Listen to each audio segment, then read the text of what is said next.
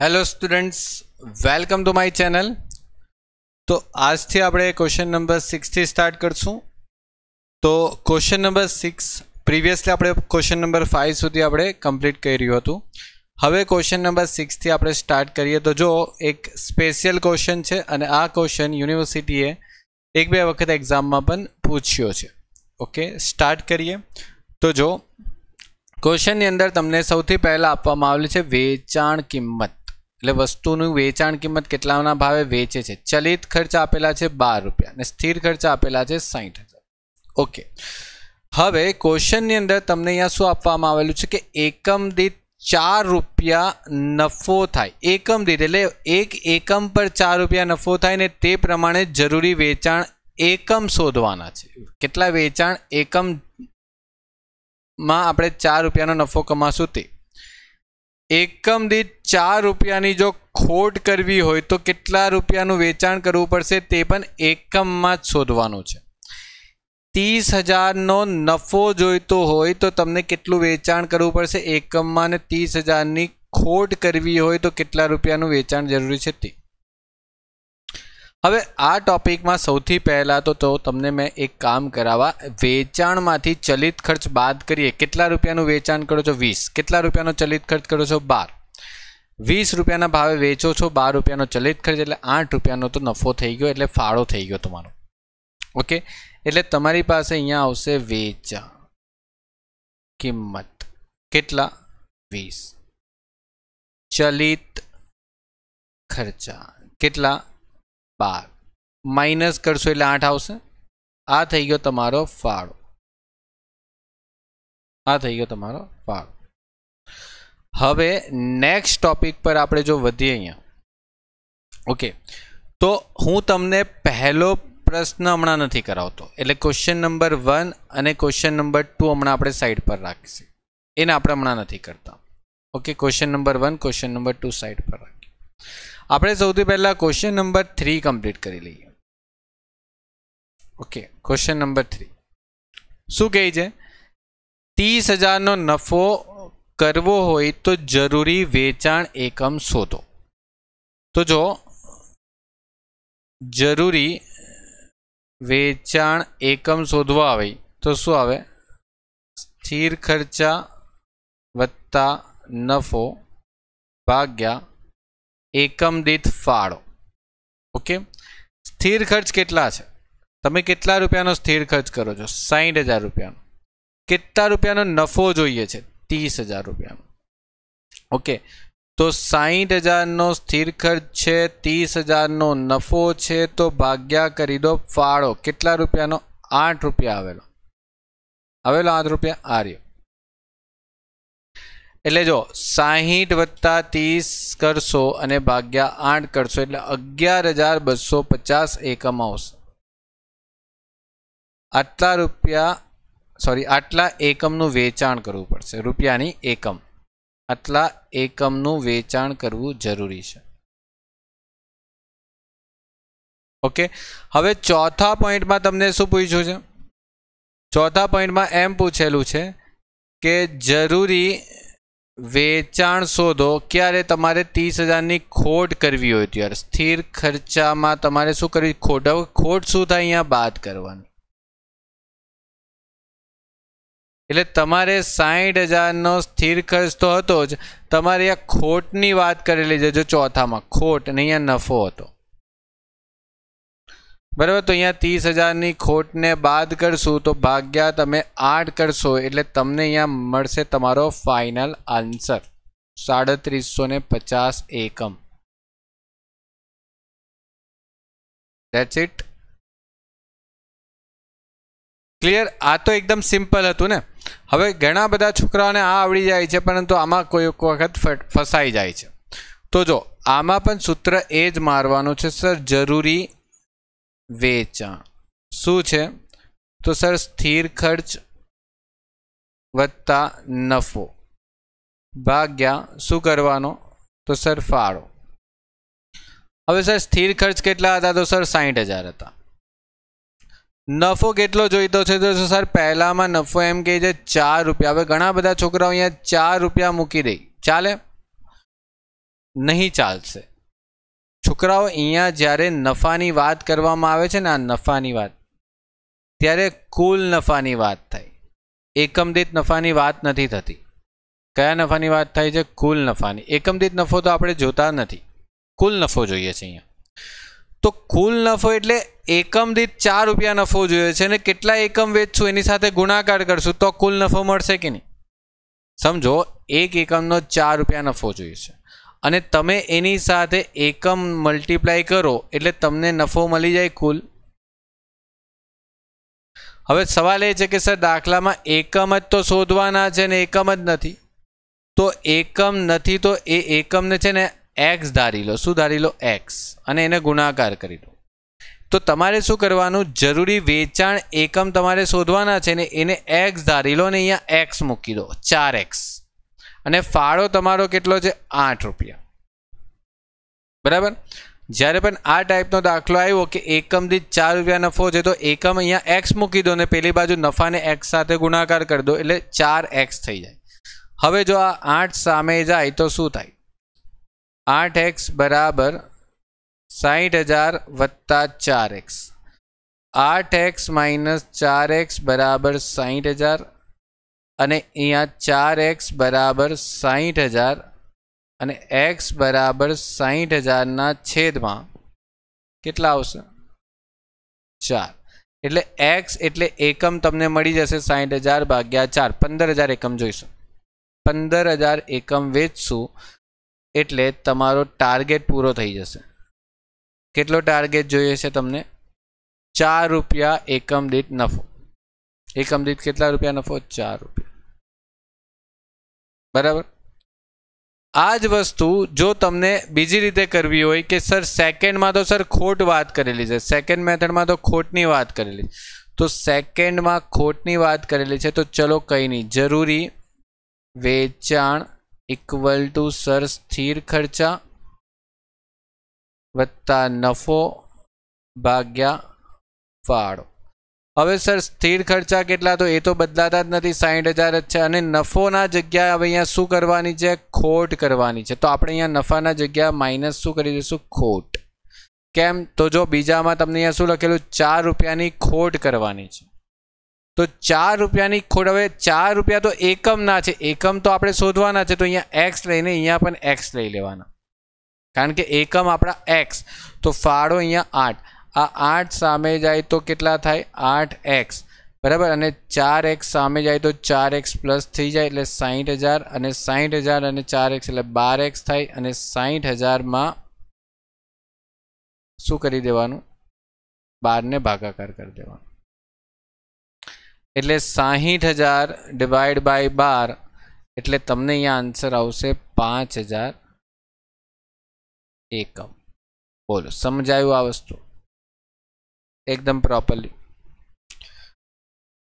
Clear હવે આ જ વસ્તુ જો તમને થોડુંક લોજિકલ વે બતાવો કે સર આ એક્સમાં અમને સમજ નથી પડી તો પછી એક્સમાં સમજ નહીં પડી હોય તો જો બીજી એક રીતે કરી શકાય શું કરાય જો વેચાણ કેટલામાં કરો છો તમે વેચાણ કેટલા રૂપિયાનું વેચાણ કરતા હતા વેચાણ કેટલા રૂપિયાનું કરતા હતા વીસ રૂપિયાનું ઓકે વીસ રૂપિયાનું વેચાણ કરીશ એમાં ચલિત ખર્ચ કેટલા છે સર બાર રૂપિયા એટલે આઠ રૂપિયાનો તમારો શું હતો ફાળો હતો હવે તમને અહીંયા વચ્ચે ખબર છે શું બાદ થાય સ્થિર ખર્ચા બાદ થાય પછી તમને શું મળે નફો મળે હવે ધારો કે તમને અહીંયા નફો કેટલો જોઈતો હતો દાખલામાં ચાર રૂપિયા એકમ દીઠ ચાર રૂપિયા જોઈતો હતો પહેલા પોઈન્ટમાં એકમ દીઠ ચાર રૂપિયા જોઈતો હતો ફર્સ્ટ પોઈન્ટની અંદર એકમ દીઠ કેટલા રૂપિયા નફો જોઈતો હતો ચાર રૂપિયા તો તમે અહીંયા ચાર રૂપિયા મૂકી દેવો તો આઠના ચાર ક્યારે થાય વચ્ચે ચાર માઇનસ કર્યા હશે તો જ થાય ને વિચારો ને આઠમાંથી ચાર રૂપિયા નફો ક્યારે થાય? જ્યારે વચ્ચે સ્થિર ખર્ચ ચાર રૂપિયા બાદ થયા હશે તો જ હવે આ સ્થિર ખર્ચ છે ને, એ એકમ દીઠ ચાર રૂપિયા આવ્યા. એક એકમના ચાર સ્થિર ખર્ચ. હવે આપણી પાસે સ્થિર ખર્ચ કેટલો હતો? સાહીઠ હજાર. તો સાહીઠ હજાર ભાગ્યા ચાર કરી દો, તો આવી ગયો જવાબ આ રહ્યો પંદર હજાર. હવે આ જ મેથડમાં સર આપણે ખોટ કરવી હતી. નફો નથી કરવો, નફો નથી કરવો. નફાના જગ્યાએ શું કરવી છે? ખોટ. તો એક કામ કરો. ખોટ કરવી છે ને તો ખોટ કેટલા રૂપિયા કરવી સર ચાર રૂપિયા તો આઠમાંથી ચાર રૂપિયાની ખોટ ક્યારે બની શકે જ્યારે અહીંયા માઇનસ બાર કર્યા હશે તો જ ને વિચાર આવે છે કંઈ આઠમાંથી માઇનસ બાર કર્યા હશે તો જ માઇનસ ચાર નીચે ખોટ બતાવી શકે નહીં તો થોડી બતાવી શકવાની હવે સાહીઠ હજારનો સર સ્થિર ખર્ચ હતો સાહીઠ હજારના ભાગ્યા બાર કરોની સર કેટલા આવે છે સાહીઠ હજાર ભાગ્યા બાર કરો એટલે સર પાંચ પાંચ હજાર આવી જાય આ પણ એક લોજિક છે લોજિક બંદેઓમાં સેમ જ લાગે છે પેલું સૂત્ર છે ને આ આપણે ડાયરેક્ટ એક સમજી વિચારીને કામ કરીએ છીએ ઓકે ફરી ફેરીને કામ તો પાછું તે જ થાય છે ઓકે ચલો કમ્પ્લીટ કરીએ આગળ વધીએ next question question number seven okay ચલો તો ક્વેશ્ચન નંબર સેવન પર ધ્યાન આપો શું કીધેલું છે ક્વેશ્ચન નંબર સેવનમાં ઓકે વાંચો પહેલાં અને સમજવાની કોશિશ કરો. તો ક્વેશ્ચન નંબર સેવનમાં તમને કહેવામાં આવેલું છે, નીચેની વિગતો અતુલ લિમિટેડના ચોપડા પરથી લેવામાં આવેલી છે. ઓકે હવે અતુલ લિમિટેડ શું કરે છે તે જો અતુલ લિમિટેડ કેટલાનું વેચાણ કરે છે? કેટલાનું વેચાણ કરે છે? તો સર, ચાર હજાર એકમ વેચે છે, પચીસ રૂપિયાના ભાવે. તો ચાર હજાર ગુણ્યા પચીસ, એક લાખ થઈ ગયા. ઓકે સર, થાય છે. સર, માલ, સામાન, મજૂરી અને ચલિત ખર્ચ પણ થાય છે અને સ્થિર ખર્ચ પણ થાય છે. હવે એક વસ્તુ ધ્યાનથી સમજજો મારી વાતને. માલ, સામાન, ખર્ચ હંમેશા ચલિત જ હોય અને મજૂરી બી હંમેશા ચલિત જ હોય. કહેવાની જરૂર નથી. ઓકે? આ વસ્તુ કહેશે નહીં. તમને ખબર હોવી જોઈએ કે માલ, સામાન અને મજૂરી હંમેશા ચલિત જ હોય છે અને ચલિત શિરોપરી ખર્ચ. તો જો જ્યારે પણ આ પ્રકારનો દાખલો આવે ને, તો તમારે શું કરવાનું? બધા ચલિત ખર્ચને એક ભેગો કરી દેવાનો. બરાબર?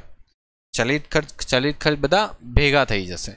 તો આપણી પાસે કુલ ચલિત ખર્ચ કેટલા? કુલ ચલિત ખર્ચા. ઓકે, એ શોધી નાખીએ પહેલાં. તો જો દાખલામાં કુલ ચલિત ખર્ચ કેટલો છે, તો જો માલ સામાન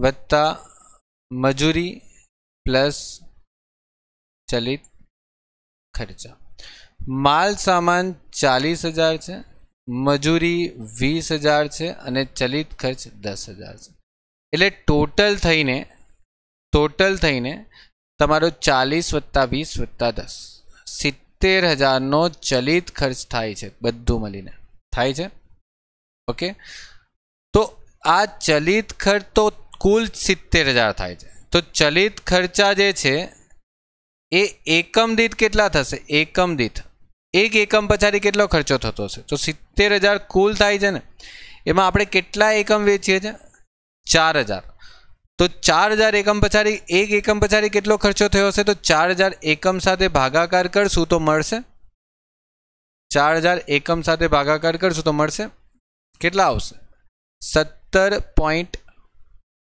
પાંચ ઓકે હવે આટલું કર્યા પછી તમને દાખલામાં જે શોધવું હોય તે શોધો જો શું શોધવાનું છે સમતુત બિંદુ જરૂરી વેચાણ એકમ શોધો સમતુત બિંદુ માટે જરૂરી વેચાણ એકમ શોધો તો એક કામ કરશું પહેલા પોઈન્ટમાં સમતુત બિંદુ શું આવશે ખબર છે સ્થિર ખર્ચા હવે સમતુત બિંદુ તમને શેમાં પૂછ્યું છે એકમમાં પૂછ્યું છે તમારે શું કરવાનું અહીંયા ફાળો ભાગાકાર કરવાનો અને સર ફાળો તો આપણી પાસે છે નહીં મળી જશે જો વેચાણ કિંમત કેટલી વેચાણ કિંમત છે પચીસ રૂપિયા મળી કશેથી હા રહી જો પચીસ રૂપિયાના ભાવે વેચો છો અને ચલિત ખર્ચ સર બાદ કરશું ને એટલે આપણને ફાળો મળી જશે જો આ ચલિત ખર્ચ કેટલા રૂપિયા આવ્યો એક એકમના સત્તર પોઈન્ટ પાંચ એટલે સર સાત પોઈન્ટ પાંચ રૂપિયા આપણને શું મળી ગયો ફાળો મળી ગયો એટલે સર આપણી પાસે સ્થિર ખર્ચ કેટલા આપેલા છે તો યસ આપેલા છે જો સ્થિર ખર્ચ કેટલા થાય છે સ્થિર શિરોપરી ખર્ચ અઢાર હજાર રૂપિયાનો સ્થિર ખર્ચ થાય છે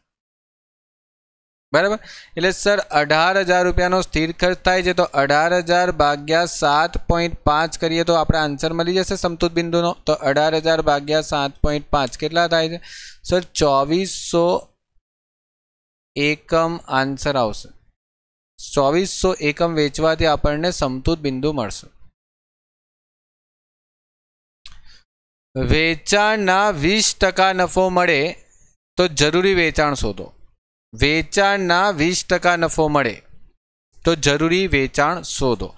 હવે આ ટોપિક થોડોક અઘરો છે. બરાબર? પરંતુ આપણે એને સહેલો બનાવશું. બરાબર? આપણે એને સહેલો બનાવશું.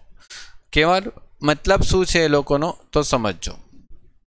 કહેવાનો મતલબ શું છે તે સમજજો વેચાણના વીસ ટકા નફો એટલે તમે અહીંયા જેટલું બી વેચાણ કરશો એ ખબર નથી કેટલા એકમ વેચાણ કરશો બરાબર એ ખબર નથી જરૂરી વેચાણ એ જ તો પૂછ્યું છે કેટલું વેચાણ કરશો એ જ નથી ખબર એટલું ખબર છે કે પચીસના ભાવે વેચાણ કરશો એટલે જેટલા રૂપિયાનું અહીંયા વેચાણ કરશું બરાબર એકમ સાથે ગુણાકાર કરીને જેટલા પણ અહીંયા ટોટલ તમારું વેચાણ આવશે એના પર વીસ ટકા શું થવો જોઈએ નફો થવો જોઈએ વીસ ટકા શું થવો જોઈએ નફો થવો જોઈએ બરાબર એટલે જેટલું વેચાણ કરશું એના પર વીસ ટકા નફો થવો જોઈએ ઓકે તો હવે શું કરીએ છો તો એક કામ કરી શકો બે રીતે દાખલો કરી શકશો પહેલી રીતે હું કરાવું છું બીજી રીતે બી કરાવવા ઓકે પહેલાં એક સિમ્પલ રીતે કરીએ તો જો તમારી પાસે વેચાણ કિંમત છે તમારી પાસે અહીંયા પચીસ રૂપિયા હવે પચીસ રૂપિયા વેચાણ કિંમત છે, એના પર વીસ ટકા નફો, એટલે પચીસના વીસ ટકા કેટલા થાય? પાંચ. થાય પાંચ રૂપિયા. એટલે વિચારો કે અત્યારે તમને અહીંયા એમ કહેવામાં આવે કે તમારી વેચાણ કિંમત જે છે, એ કેટલા રૂપિયા છે? પચીસ નફો તમને કેટલો જોઈએ છે? તો વેચાણ કિંમત પર એટલે વેચાણ પર કેટલા ટકા વીસ ટકા એટલે નફો પાંચ રૂપિયા થઈ ગયો એક એકમના પાંચ રૂપિયા થઈ ગયા એકમ દીઠ હવે હમણાં જ આપણે ઉપર શીખીને આવ્યા ને વેચાણ કયું તો જરૂરી શું સૂત્ર હતું સ્થિર ખર્ચા વત્તા નફો ભાગ્યા શું હતો ફાળો સ્થિર ખર્ચ સર કેટલો છે અઢાર હજાર દાખલામાં નફો સર કેટલો કરવાનો છે પાંચ રૂપિયા એકમ દીઠ છે સર પાંચ રૂપિયા એકમ દીઠ છે ને એકમ દીઠ હોય એટલે મેં તમને કીધું અહીંયા એક્સ મૂકી દેવાનું ને કે અહીંયા એક્સ મૂકી દો એટલે તમારો ફાળો કેટલો હતો સર સાત પોઈન્ટ પાંચ તો સાત પોઈન્ટ પાંચને આ એક્સ સાથે ગુણાકાર કરીએ તો સાત પોઈન્ટ પાંચ એક્સ થાય અઢાર હજાર વત્તા પાંચ એક્સ એટલે સાત પોઈન્ટ પાંચ એક્સમાંથી આ પાંચ એક્સ સામે જાય તો માઇનસ થઈ જાય એટલે અઢાર હજાર એટલે અહીંયા તમારો બે પોઈન્ટ પાંચ એક્સ આવશે અઢાર હજાર એટલે એક્સની કિંમત અઢાર હજાર ભાગ્યા બે પોઈન્ટ પાંચ કેટલા થાય છે તો અઢાર હજાર ભાગ્યા બે પોઈન્ટ પાંચ કેટલા એકમ વેચવા પડશે સાત હજારને બસો એકમ વેચવા પડશે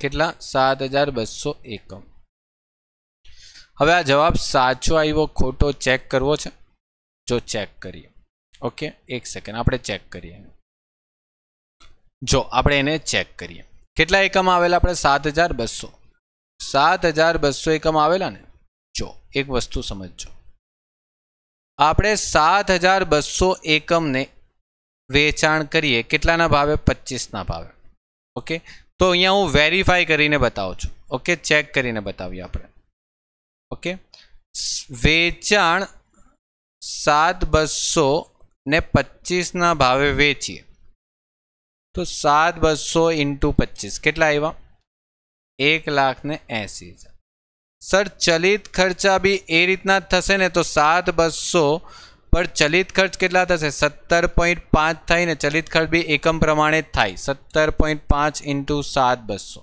કેટલા થયા સર એક લાખ ને છવ્વીસ હજાર એક લાખ છવ્વીસ હજારને એક એંસીમાંથી સર બાદ કરીએ ને તો ચોપન હજાર રૂપિયા આવે આ સર આપણો ફાળો આવ્યો કુલ ફાળો આવ્યો આ એકમ દીઠ ફાળો હતો આ કુલ ફાળો હતો એમાંથી સર આપણે સ્થિર ખર્ચ બાદ કરીએ ને સ્થિર ખર્ચા એટલે સર આપણા સ્થિર ખર્ચ અઢાર હજાર હતા ને તો અઢાર હજાર તમે બાદ કરો તો ચોપન હજારમાંથી તો અઢાર હજાર બાદ કરો ચોપન હજારમાંથી તો સર છત્રીસ હજાર આવે છે છત્રીસ હજાર રૂપિયા સર નફો આવ્યો હવે ચેક કરવો છે આપણે વેચાણ પર કેટલા ટકા નફો કમાઈએ જો વીસ ટકા કરી જો એક લાખ એંસી હજારના વીસ ટકા કરો જો વીસ આવે છે છત્રીસ હજાર તો એકદમ પરફેક્ટલી આન્સર ટેલી કરીને બતાવ્યો મેં તમને એટલે સાત બસો એકમ વેચશું ને તો આપણને નફો થશે વીસ ટકા જેટલું વેચશું એના પર વીસ ટકા નફો થશે ક્લિયર આ વસ્તુ ઓકે ક્લિયર છોકરાઓ? તો જો, આ રીતના મેં તમને બધી જ વસ્તુ ટેલી કરીને બતાવું છું. એવું નથી કે બસ મારે તમને ખાલી શીખવાડીને ફટાફટ કમ્પ્લીટ કરવું છે. બરાબર? તમને પ્રોપરલી નોલેજ આપવું છે. તો પ્રોપરલી શીખવાડવાની મેં પૂરેપૂરી કોશિશ કરી છે. પછી તમારી ઈચ્છા છે કે તમારે આમાંથી કેટલું શીખવું છે. બરાબર? બાકી મેં તો મારી રીતના પૂરો પૂરો ટ્રાય કરો છું. ઓકે તો એક્ઝામ માટે પ્રોપરલી અત્યારથી તૈયારી રાખો. આ ચેપ્ટર સારું છે. માર્ક્સ મળશે. ચેપ્ટર અઘરું લાગતું હતું, પરંતુ ગેરંટી આપું છું, મેં તમને પેપર, ચોપડીના ઘણા બધા દાખલા કરાવવા અને પેપરના પણ ઘણા બધા દાખલા આપણે કરશું. ડેફિનેટલી આ ચેપ્ટરમાં જે તમારો ડર છે એ નીકળી જવો જોઈએ. અને આવડવું જોઈએ ચેપ્ટર સિમ્પલ રીતે. બસ થોડું ઘણું જે કોમ્પ્લિકેશન તમને નડતી હતી તે હોપ કે જેટલા પણ લેક્ચર હું તમને અહીંયા પ્રોવાઈડ કરા એનાથી તમારા સોલ્વ થઈ જશે. ઓકે તો પૂરેપૂરા સ્ટેપ બાય સ્ટેપ દરેક વિડીયો જોવાની તમે કોશિશ કરશો અને જોશો તો ડેફિનેટલી સોલ્વ થઈ જશે તમારા દરેક પ્રોબ્લેમ આ ચેપ્ટરને લગતા બરાબર થોડું ઘણી તમારે પણ ટ્રાય કરવી પડશે એવું નથી કે મતલબ વિડીયો જોઈને તમને હંડ્રેડ પર્સન્ટ આવડી જાય કોઈ વખત કોઈ છોકરાઓનું મતલબ માઇન્ડ થોડુંક હજુ ઓછું બી ચાલતું હોય પર્સન્ટેજ અને કેલ્ક્યુલેશનમાં તો એને થોડું તકલીફ આવી શકે પરંતુ શીખવાથી જ આવડવાનું છે ને કોઈક એવું બનશે કે કે જેને એક વખત જોવાથી આવડી જશે. કોઈ એવું બી હશે કે જેને બે વખત જોવું પડશે. બધાના માઇન્ડ સરખા નથી હોતા. જો વેચાણ કિંમત વીસ ટકા ઘટાડો કરવામાં આવે, તો નફો જાળવી રાખવા માટે. પરંતુ કયો? વર્તમાન નફો. આ વર્તમાન નફો છે. નફો છે ને? વર્તમાનનો. અને જાળવી રાખવો હોય તો જરૂરી વેચાણ કેટલું? વેચાણ કિંમત કેટલી ઘટાડવાની છે? વીસ ટકા. હવે છોકરાઓ અહીંયા સમજો અહીંયા વેચાણ કિંમત કેટલી છે? પચીસ રૂપિયા. હવે આ પચીસ રૂપિયાને જો આપણે વીસ ટકા ઘટાડી દઈએ, તો જો અહીંયા સમજો બીજા, ત્રીજા પોઈન્ટમાં શું લખવાનું છે? વેચાણ કિંમત. પચીસ હતી, એને વીસ ટકા ઘટાડી દેવાની છે. શું કરવાની છે? વીસ ટકા ઘટાડી દેવાની. એટલે પચીસના જો વીસ ટકા ઘટી જાય, તો કેટલા આવે? પચીસમાં વીસ ટકા માઇનસ કરો ને કેટલા આવે? પચીસ માઇનસ વીસ ટકા, કેટલા થાય? વીસ જ થાય ને? ઓકે, એમાં આપણી પાસે શું હતું? ચલિત ખર્ચા. અને ચલિત ખર્ચા આપણે શોધેલા છે ને? ચલિત ખર્ચા કેટલા હતા? સત્તર પોઈન્ટ પાંચ હતા. જો, આ રહ્યા, ચલિત ખર્ચ આપણે અહીંયા શોધેલા છે દાખલામાં. સત્તર પોઈન્ટ પાંચ. તો આ ચલિત ખર્ચને બાદ કરશો એટલે બે પોઈન્ટ પાંચ રૂપિયા તમારો નવો ફાળો મળશે, ફાળો. નવો. હવે તમને એમ કહે છે કે જરૂરી વેચાણ શોધો, હાલનો નફો જાળવી રાખવા માટે. તો તમારી પાસે શું આવશે? પહેલાં તો અહીંયા સ્થિર ખર્ચ આવશે. પ્લસ તમારે શું કરવાનો? નફો કરવાનો. ભાગ્યા તમારે શું કરવાનો? ફાળો કરવાનો. સ્થિર ખર્ચ તમારો કેટલો હતો? જો દાખલામાં સ્થિર ખર્ચ કેટલો છે? તમારી પાસે અહીંયા અઢાર હજાર રૂપિયાનો સ્થિર ખર્ચ ઓકે? અઢાર હજાર રૂપિયાનો સ્થિર ખર્ચ છે અને કહેવાનો મતલબ એમ છે કે નફો છે ને જાળવી રાખવાનો. નફો કેટલા રૂપિયા છે? વર્તમાનનો બાર હજાર રૂપિયા. તો આ બાર હજારનો નફો જાળવી રાખીએ તો ભાગ્યા ફાળો એટલે બે પોઈન્ટ પાંચ. કેટલા આવશે? તો ત્રીસ હજાર ભાગ્યા બે પોઈન્ટ પાંચ. કેટલા આવે છે? બાર હજાર. અને આ તમારો જે જવાબ આવશે એને શું લખવાનું? એકમમાં. બોલો, થઈ ગયો દાખલો પૂરો? બસ ખાલી મેથડ સમજો અને ક્વેશ્ચનને સમજો, દાખલો આવડી જ જશે. નેક્સ્ટ ટોપિક વર્તમાન સંજોગોમાં સમતુત બિંદુ કેટલું લાવવાનું છે? બાવીસ, પચાસ. એકમ કરવામાં આવે તો એકમ દીઠ નક્કી કરવામાં આવેલી વેચાણ કિંમત શોધો. એટલે સમતુત બિંદુ તમને બાવીસો પચાસ રાખવાનું છે. એટલે તમારું જે સમતુત બિંદુ છે ને, એ બાવીસો પચાસ રહેવું જોઈએ. જો છોકરાઓ અહીંયા ધ્યાન આપજો. સમતુત બિંદુ જે છે ને, એ તમારું બાવીસો ને પચાસ એકમનું રહેવું જોઈએ.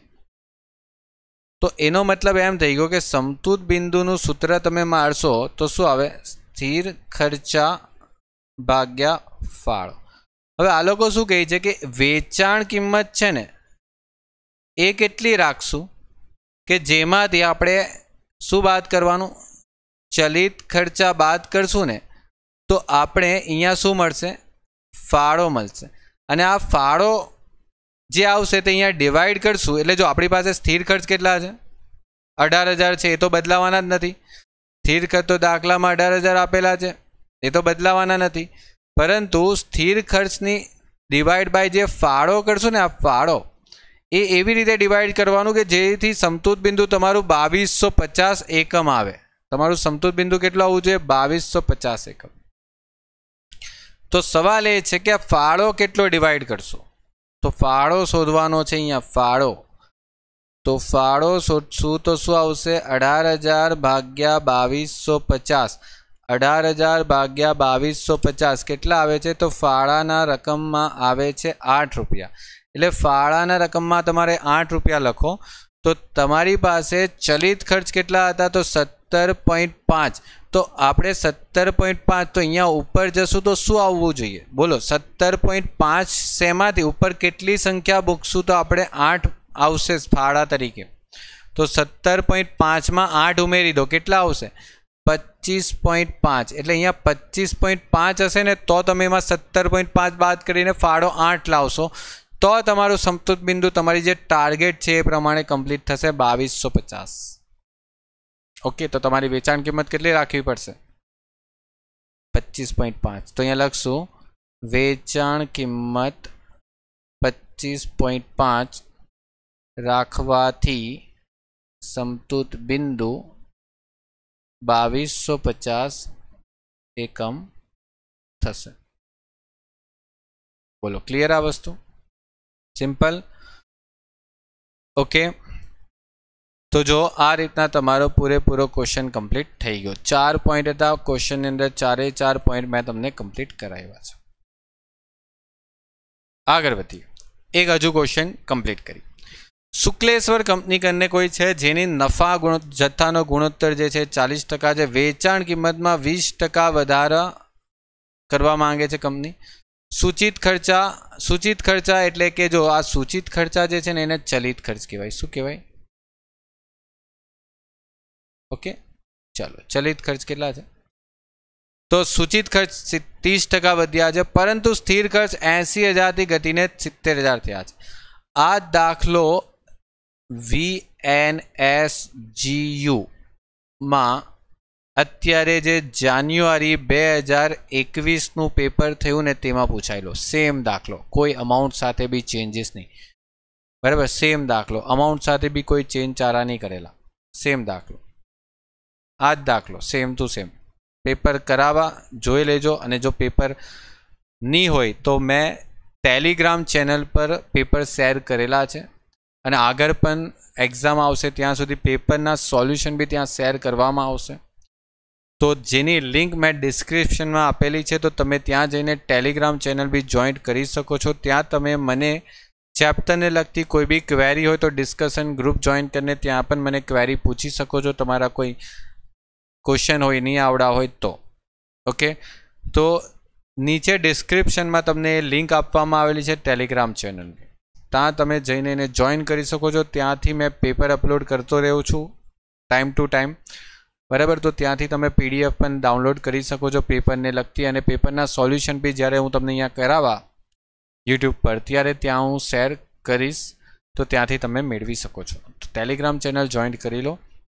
ઓકે તો આ દાખલો તમને બે હજાર એકવીસની એક્ઝામમાં પૂછવામાં આવેલો છે, બે કે ત્રણ માર્ક્સમાં બરાબર? તો જો તમને શું પૂછવામાં આવ્યું છે કે તમારો સ્થિર ખર્ચ જે છે ને છોકરાઓ એ સ્થિર ખર્ચા જે છે પહેલાં કેટલા હતા એંસી હજાર હતા કેટલા હતા અહીંયા એંસી હજાર હવે એ ઘટીને સિત્તેર થાય છે એટલે નવા સ્થિર ખર્ચ કેટલો થઈ ગયો સિત્તેર હજાર થઈ ગયો હવે પહેલા તમારી પાસે પીવી ગુણોત્તર કેટલો હતો તમારી પાસે ચાલીસ ટકા હતો ઓકે તો પીવી ગુણોત્તર ચાલીસ ટકા હતો તો સમતુત બિંદુ તમારું શું આવશે છોકરાઓ બોલો, શું હતું? આપણું સમતુત બિંદુનું સૂત્ર સ્થિર ખર્ચા ભાગ્યા પીવી ગુણોત્તર હતું કે નહીં હતું? તો એંસી હજાર ભાગ્યા તમે ચાલીસ ટકા કરો, તો એંસી હજારના ભાગ્યા કરો ચાલીસ ટકા. કેટલા આવે છે? બે લાખ રૂપિયામાં આવશે. કેમ રૂપિયામાં આવશે? કારણ કે તમે પીવી ગુણોત્તર વડે શું કરો છો? ભાગાકાર કરો છો. હવે નેક્સ્ટ ટાઈમ પર તમને એમ કહે છે કે વેચાણ કિંમતમાં વીસ ટકા વધારો કરવા માંગે છે. હવે તમે કહેશો, સર, એમાં વેચાણ કિંમત જ નથી આપેલી. કેવી રીતે વીસ ટકા વધારો કરશો? અને સૂચિત ખર્ચા એટલે ચલિત ખર્ચા એ ત્રીસ ટકા વધ્યા છે. તો જો છોકરાઓ, વેચાણ છે ને તમારે ધારવું પડશે. વેચાણ કિંમત તમારી ધારો કે સો. અને તમારો પીવી ગુણોત્તર સ્ટુડન્ટ કેટલા હતા? ચાલીસ ટકા. પીવી ગુણોત્તર એટલે એને એક રીતો કહેવાય ફાળો. એટલે આના પર ચાલીસ ટકા આપણો ફાળો હતો. આનો મતલબ એમ થયો. એટલે સો રૂપિયાની વેચાણ કિંમત હોય ને, તો એના પર પીવી ગુણોત્તર ચાલીસ ટકા એટલે સો રૂપિયા પર ચાલીસ ટકા ફાળો થાય. તો અહીંયા તમારી પાસે જે વચ્ચે આવશે, શું આવશે? ચલિત ખર્ચા. કેટલા રૂપિયા આવશે? સાહીઠ રૂપિયા. હવે તમને એમ કહેવામાં આવે છે કે આમાં છે ને, વીસ ટકા વધે છે. એટલે આમાં વીસ ટકા પૈસા વધી જાય છે, એકસો વીસ. આમાં જે છે ને, એ ત્રીસ ટકા વધ્યા છે. એટલે અહીંયા ત્રીસ ટકા વધારો કરી દો. સાહીઠમાં ત્રીસ ટકા વધી જાય તો કેટલા આવે? ઇઠ્યોતેર આવે. એટલે એકસો વીસમાંથી તમે ઇઠ્યોતેર બાદ કરી લો તો કેટલા આવે? સ્ટુડન્ટ બેતાલીસ રૂપિયા. હવે તમારો નવો પીવી ગુણોત્તર શોધવો પડશે. નવો પીવી ગુણોત્તર. નવો પીવી ગુણોત્તર શું આવશે? તો આને ડિવાઈડ કરશો. શું આવશે? પીવી ગુણોત્તર કેવી રીતે આવે? તો ફાળો ભાગ્યા વેચાણ કિંમત ગુણ્યા સો. તમે બેતાલીસને એકસો વીસ વડે ભાગાકાર કરીને ગુણ્યા સો કરી શકો છો. બેતાલીસ ભાગ્યા એકસો વીસ ગુણ્યા સો. પાંત્રીસ ટકા આવશે, છોકરાઓ.